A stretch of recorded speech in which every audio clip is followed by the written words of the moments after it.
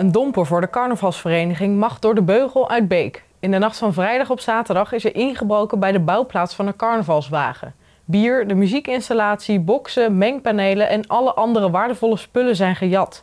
Maar in een dorp als Beek laat men elkaar niet zomaar zitten. En dus schoten de hulpacties als paddenstoelen uit de grond.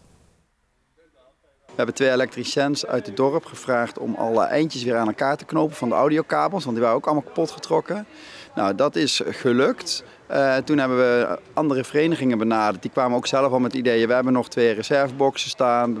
Bij, ons staat nog een mengpaneel. En op die manier hebben we dus uh, ja, de muziek weer kunnen weer herstellen.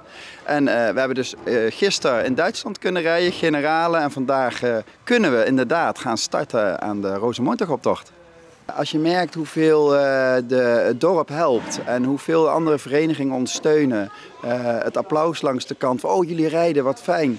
Het voelt natuurlijk wel heel fijn dat je in een dorp kan wonen waar dit wel zo opgepakt wordt dat je er niet alleen voor hoeft te staan. Dorpsgenoten hoorden al snel van de inbraak en begonnen een inzamelactie.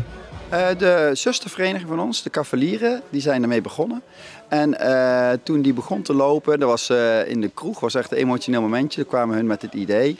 En er was ook de carnavalsvereniging uit Renen was er ook. En die zeiden al gelijk, nou wij sponsoren 111 euro. En de Cavalieren zelf hebben toen ook gelijk 111 euro gesponsord. Maar de crowdfunding actie is eigenlijk 11 euro die er zin in heeft te doneren. En dat is een mooi carnavalsgetal. En de, de donaties stromen binnen.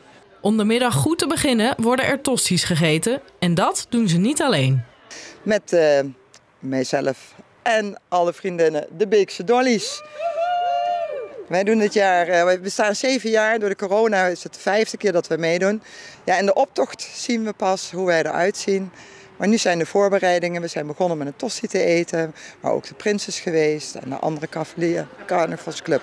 De tosties zijn inmiddels een echte traditie in Beek. Jaren geleden hadden we ook nog een vereniging Beek de Gekste. Toen zijn we ermee begonnen. En zo is het doorgegaan. Inmiddels hebben we Macht door de Beugel. Nou ja, en wij, de Beekse Dollies. Wij eten ook altijd even tosti voordat we gaan beginnen. De prins is op bezoek geweest. Het was een heerlijk feestje.